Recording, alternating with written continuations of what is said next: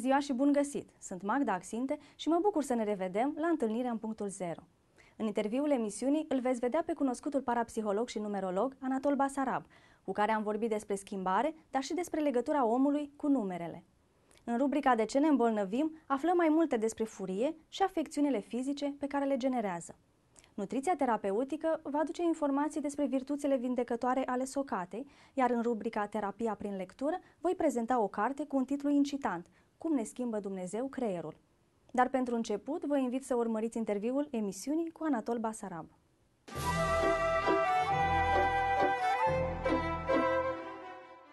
Ne întâlnim în punctul 0 cu Anatol Basarab, căruia îi urez bun venit în Iași la emisiunea noastră. Bine te-am găsit pe tine și pe telespectatorii tăi. Am discutat puțin înainte de emisiune cu ce să începem, ce să discutăm și ați avut o idee foarte bună cu titlul emisiunii, nu? Da. Punctul 0, în special. Da, dacă sunt pentru prima dată uh, la emisiunea ta și sper să nu fiu uh, și ultima uh, dată, că mi-ar face plăcere. Și mie. Și chiar așa denumirea este foarte sugestivă pentru că atunci când mi-ai spus cum se numește emisiunea, din punctul meu de vedere, mi, părut foarte, mi s-a părut foarte sugestiv, adică punctul zero. Acel punct zero de la care în viața fiecăruia trebuie să pornească ceva. O, nou, o nouă viață, un nou drum. Adică toți noi avem în viață mai multe puncte zero și chiar de dorit să avem din ce în ce mai multe, momente, punctul zero, de la care pornește un nou capitol în viață. Și din cauza asta mi-a plăcut însăși denumirea. Mă bucur, chiar uh, și noi ne-am gândit destul de mult până să alegem, uh, mai ales că un început uh, contează foarte mult să-i găsești acea denumire, mm-hmm. nu? Și din punct de vedere numerologic, dacă nu mă înșel, este foarte important. Da, de numer- numerologia se ocupă de asta în special și atunci Uh, lucrurile, um, spunem așa, capătă o valoare mai mare atunci când ceea ce vrei să faci coincide sau este sincronizat pentru că formează o sinergie a, a lucrurilor în general. Uh, uh, de aia se pune accent pe um, nume, pe momentul începutului unui oricare început. Dar care e legătura subtilă între om și număr?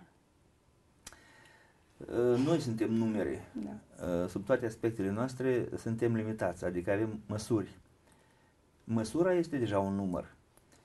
Uh, și legătura omului cu propriile sale cifre, care nici nu le cunoaște obligatoriu. Un soi de coduri?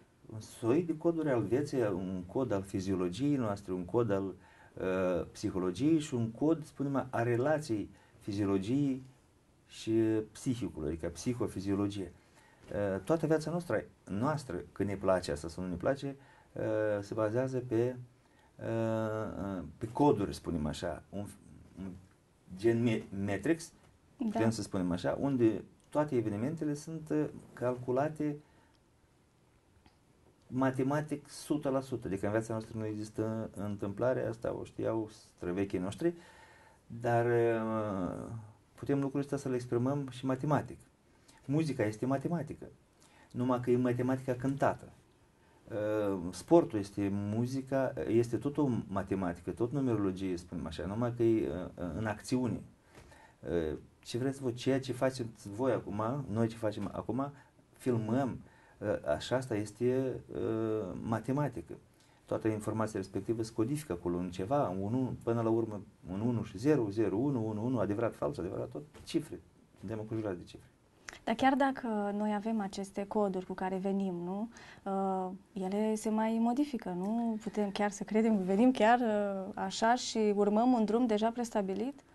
Asta uh, e de dorit să se întâmple, dar din, uh, spunem așa, din păcate, uh, omul cam cu ce abilități, aptitudini se naște, foarte puțin le dezvoltă mai târziu mm.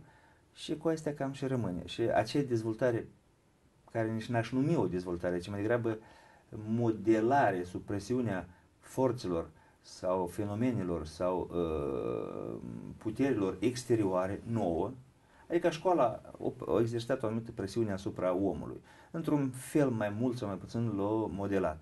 Religia exercită altă forță, uh, altă um, asupra mm. lui presiune, iar îl modifică într-un fel. Câteodată um, să spunem așa, informația sau modelarea dintr-o direcție se armonizează cu ceilaltă, cu școala, de exemplu. Altădată între ele nu și apare un haos.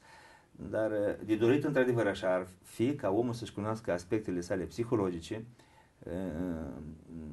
numerologice, fizice, psihice, abilitățile, aptitudinile și să le dezvolte. Uite, de exemplu, astăzi toți oamenii au memorie, corect? Da. Dacă ar înțelege ce înseamnă memorie în sensul adevărat al cuvântului, fiecare om și-ar da seama că el, de fapt, atunci când considera că avea memorie în comparație cu cel care astăzi, s-ar da seama că în trecutul era un handicapat, din punctul de Este cuvântul cel mai real.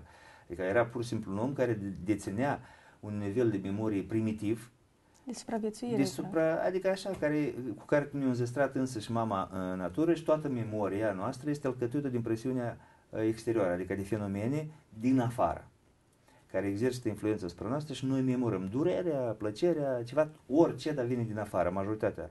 Ca 90% din astfel de experiențe vin din afară. Nu știm să ne le alcătuim noi, din interior.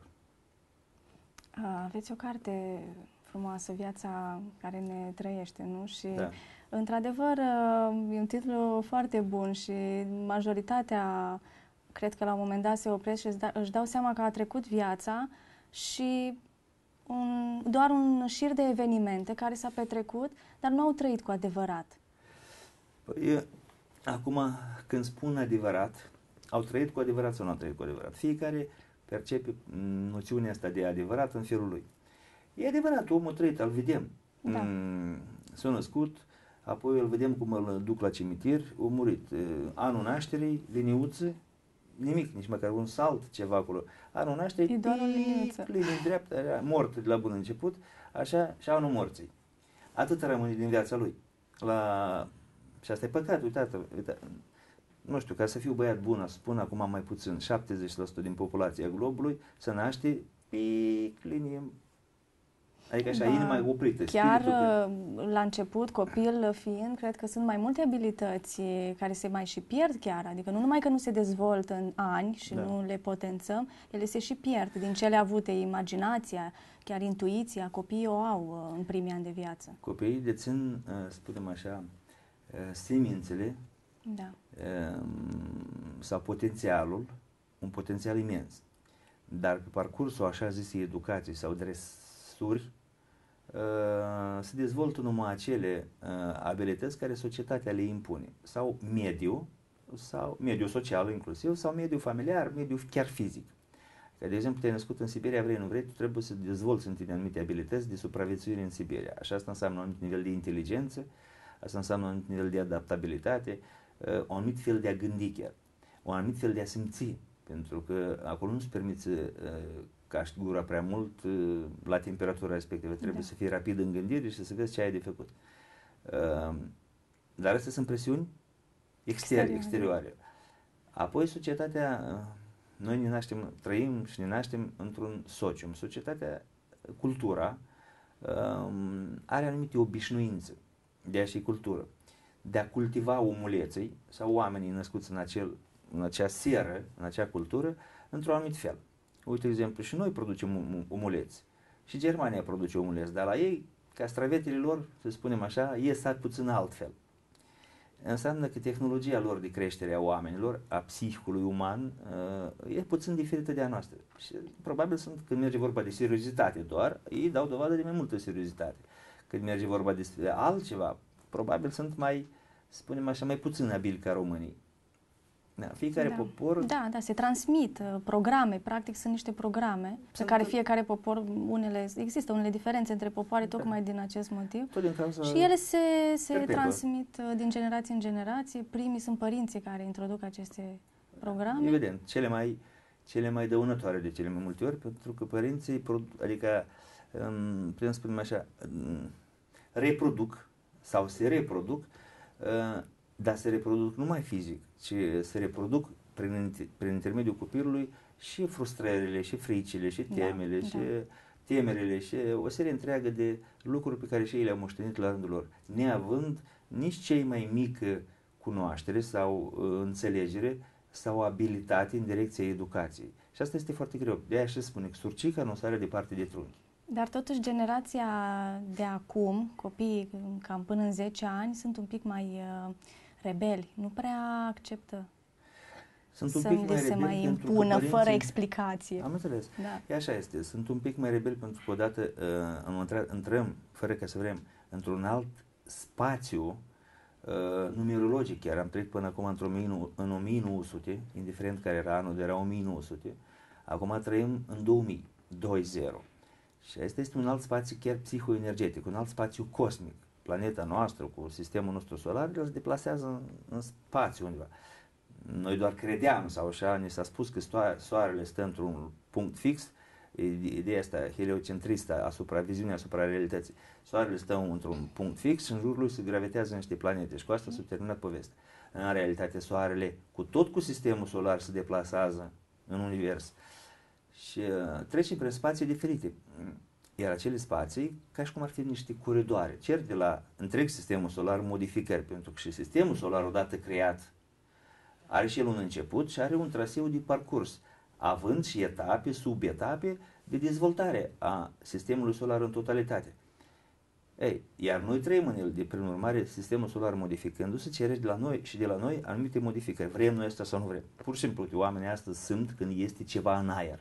Da. E ceva așa care ne împinge către o anumită nouă căutare, o nouă viziune asupra realității, pentru că acea realitate care credem noi că o știm, nu e chiar uh, totală, e cumva frânt, frântă, e cumva dihotomică și trebuie cumva să o integrăm, că altfel nu mai putem înțelege. Simțim că gata, nu se mai poate, ceva trebuie să se schimbe în lumea respectivă. Um, uite, criza apare, mâine pe mâine știi cine, cine mai apare și astea sunt tot mecanisme care duc și au menirea sau funcția să ne transforme inclusiv și pe noi. Gândirea, viziunea, atitudinea, uh, ce știu, o serie întreagă chiar de abilități interioare. Ei, copiii ăștia se nasc doar cu potențial diferit decât al părinților lor. Dar părinții se străduiesc să îi pună la punct, uh, așa și pe la vreo șapte-opt ani de zile de obicei reușesc. Da. Uh, să facă din ei o copie a lor și a fricilor lor și a temerilor. Copilul se naște tabula rasă tablă goală. Tata vine și scrie acolo ceva. ce bine, de exemplu? Mama vine și spune și ea ce bine. Dar este diferit de cât al și o spus tata. Acum copilul cum se comportă? Evident, în preajma tatălui se comportă într-un fel, în, prea, în, în fața mamei se comportă altfel, când uh, și mama și tata sunt în fața lui, atunci el în general nu știe cum se comporte pentru că nu știe ce va urma pe de o parte va urma o, un stimul, o bombonică, să spunem așa, de la tata și pe de partea altă poate să urmeze o pedeapsă de la mama. Astfel stă în cumpănă, nu știe ce să aleagă. Și asta e problema alegerii, rămâne cu ea tot timpul vieții. Pe urmă vine școala, spune alte lucruri împotriva mamei și a tatălui în general, ă, tata spune altceva împotriva școlii, și copilul respectiv trebuie ca și cum să aleagă. El nu alege, el pur și simplu, spunem așa, se duce pe calea minimei rezistențe. Aia nu înseamnă alegere.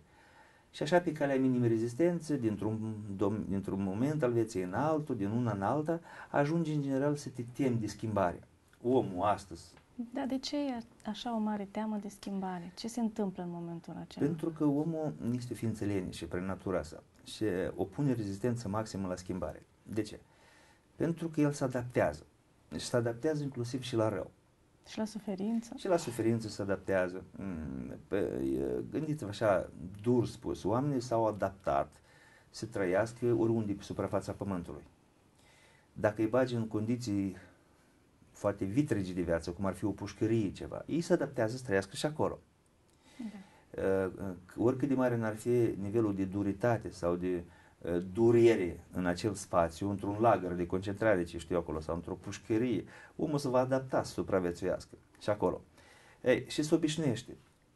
Obișnuința este a doua noastră natură. Din păcate, noi ne obișnuim foarte repede cu lucrurile la care nu trebuie să depunem mult efort de conștientizare, de înțelegere, de, de transformare, de modelare interioară.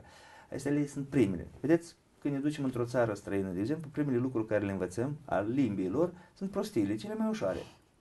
Eh, adică învățăm cele mai ușoare lucruri, calea minime, rezisten, eh, minime rezistență. Ei, dar asta nu, nu ne dezvoltă. Pentru a te dezvolta, tu singur trebuie să cauți zona maximei durități sau zona maximei rezistență, pentru că așa șlefuiește diamantul.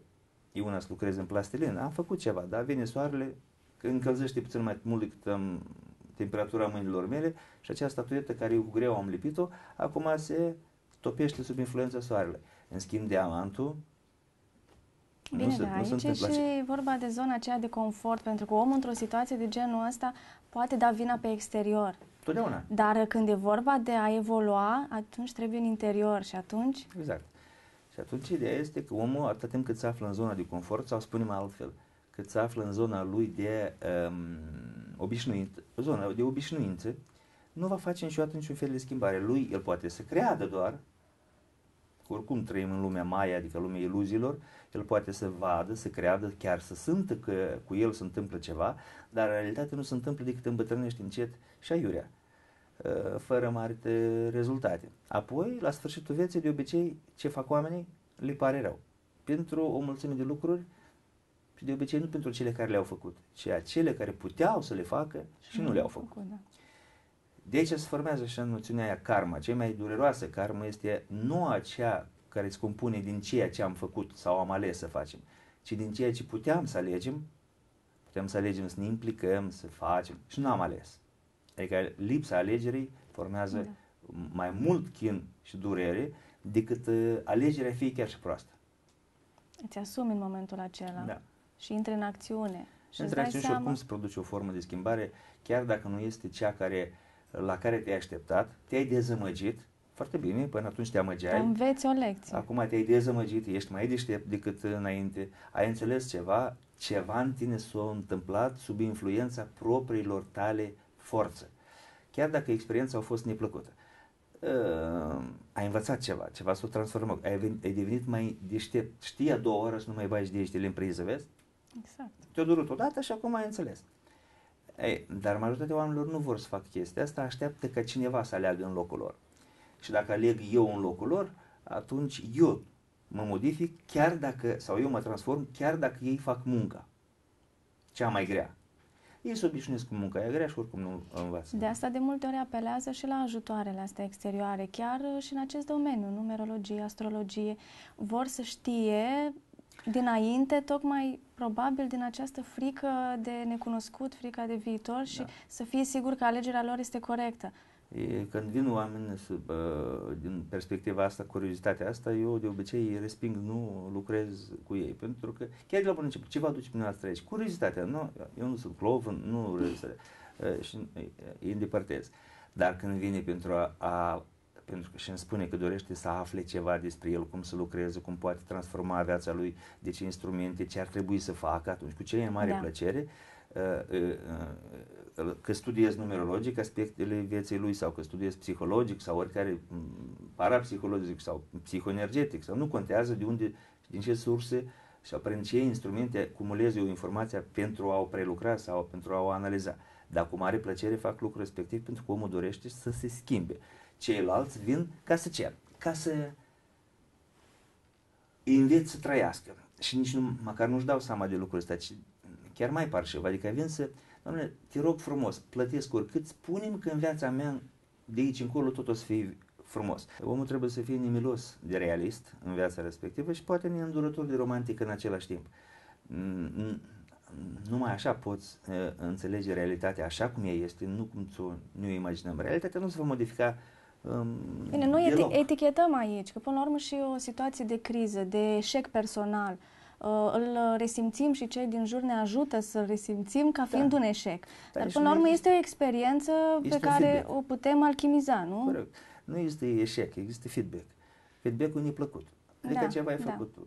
acum dacă uh, îl leși alții și te, te eticheteze sau să spună, mm, știu, eticheta pe tine, uite, ai, a, a, a, ești un ne, ai, ne, ai făcut o faptă și nu ai reușit. Prin urmare, tu ești un nereușit, ești un neterminat, ceva nu e regulă cu tine. Păi stai, diferența este foarte mare. Una este să am eu o nereușită și ea cu totul și cu totul altceva să fiu eu nereușit. Da. Cum nici nu poți fi nereușit. Ești creat după chipul și asemănarea, indiferent cum ai fi. Numai, numai dacă încă poți întreține viața în tine, chiar să spunem așa că, în ghilimele, n-ai creier deloc dar dacă poți încă merge vertical și inima să se bate și tu întreții încă viața în tine, deja ești perfect. E, acum, pe tot biorobotul respectiv, dacă mai instalăm un soft de analiză și prelucrare a informațiilor performant, care tot timpul avem grijă să-l updatăm, să-l dezvoltăm din ce în ce mai mult, atunci deja ești chiar aproape Dumnezeu. Dar nu îl ești pe alții, să te eticheteze. Asta este interpretarea lor da. asupra realității, ceea ce nu înseamnă nici pe departe că reprezintă realitatea. În general, aici avem o problemă foarte mare. Am ajuns să trăim într-o lume descriptivă. Adică cineva a descris lumea ca fiind așa și noi o preluăm, a, o preluăm și modelul respectiv, cognitiv sau și chiar așa încercăm să și trăim. Nu, realitatea nu nici pe departe așa, numai pentru că noi așa am interpretat-o.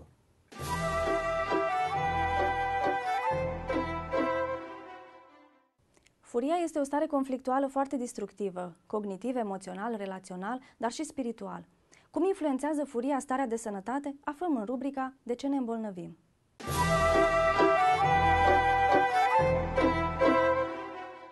Sănătatea noastră este influențată de stările noastre emoționale, pozitive sau negative. Starea de furie este o emoție foarte puternic perturbatoare care afectează ritmul cardiac, tensiunea arterială, apar dureri de cap, determină perturbări fiziologice.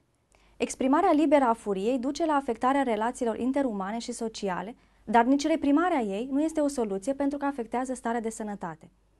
Persoanele care se înfurie repede, au stări conflictuale interioare și nemulțumire constantă, dezvoltă în timp afecțiuni ale colicistului și ficatului. Pentru a putea gestiona bine starea de furie, este necesar să-i cunoaștem și formele ascunse de manifestare, cum ar fi gelozia, pesimismul, cinismul, prejudecata, sarcasmul, egoismul. Prin multe studii, cercetătorii au descoperit că meditația, scenariile volitile imaginare și suprimarea deliberată a gândurilor negative prin înlocuirea lor cu gânduri pozitive sunt eficiente în atenuarea mâniei. Conștientizarea acestei stări și a efectelor pe care le produce în sănătatea psihică și fizică ajută în timp la creșterea capacității de observații și autocontrolului. Astfel putem deveni mai relaxați.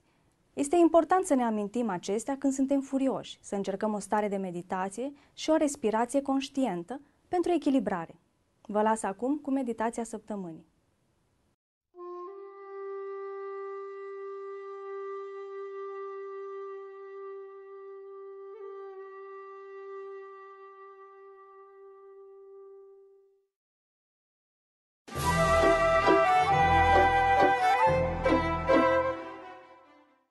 Socata este o băutură foarte cunoscută la noi. Are un gust foarte plăcut și se consumă în anotipul cald. Să aflăm mai multe despre virtuțile terapeutice ale acestei băuturi în rubrica următoare.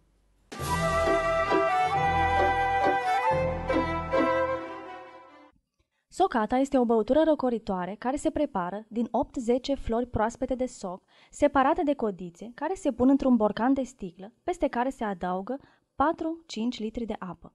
Se pune o lămâie întreagă, cu coajă, tăiată în felii subțiri. Se adaugă 600-800 ml de miere, de albine sau 500 g de zahăr. Se mai pot adăuga și 2 g de drojdie de bere. Se lasă acest amestec la macerat timp de două zile, apoi se amestecă cu o lingură de lemn și se mai lasă două zile.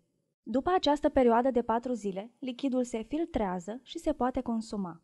Sticlele cu socată se păstrează la rece.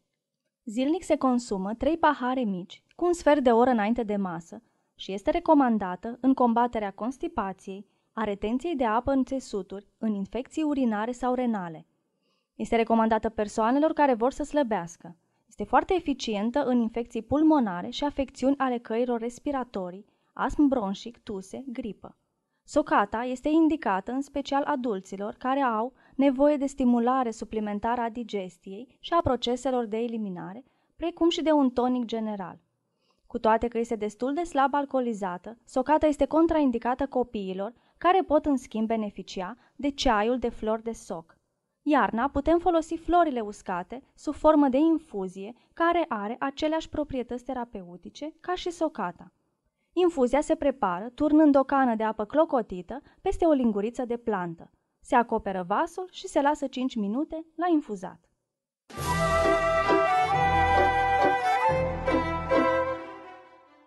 În minutele următoare veți afla câteva informații despre o carte scrisă de neurologul Andrew Newberg și cercetătorul Mark Robert Waldman, care are un titlu foarte incitant. Cum ne schimbă Dumnezeu creierul?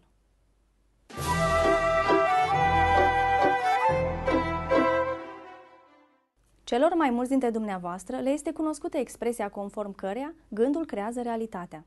Această afirmație are o valoare de adevăr mult mai mare decât s-ar putea crede. Știința a reușit de ceva vreme să explice multe dintre aspectele vieții ce erau considerate mai de mult ca aparținând doar religiei sau mitologiei. De pildă, autorii acestei lucrări explică foarte clar cum talamusul, o structură în formă de nucă, funcționează ca o gară centrală a procesării senzoriale, fiecare senzație, stare de spirit sau gând trecând prin el. Andrew Newberg și Mark Robert Waldman afirmă că talamusul joacă un rol crucial în identificarea în ceea ce este și nu este real, oferind un sentiment de semnificație emoțională gândurilor care apar în lobul frontal. Talamusul nu face nicio distinție între realitatea interioară și exterioară și deci orice idee, dacă este contemplată suficient de mult, va căpăta aspectul de realitate. Credința voastră va deveni neurologic reală, iar creierul va răspunde în consecință. Autorii își structurează ideile în capitole cu titluri incitante, provocatoare, cum ar fi Cui pasă de Dumnezeu, Introducere la o revoluție neurologică și spirituală, Ai de fapt nevoie de Dumnezeu când te rogi? Meditație, memorie și îmbătrânirea creierului, Ce-i face Dumnezeu creierului tău? Varietățile neurologice ale practicii spirituale, Cum arată Dumnezeu? Imaginație, creativitate și reprezentarea vizuală a spiritualității sau ce se întâmplă când se înfurie Dumnezeu, cartea semnată de Andrew Newberg și Mark Robert Waldman reprezintă unul dintre cele mai fericite exemple de întâlnire fertilă dintre știință și spiritualitate.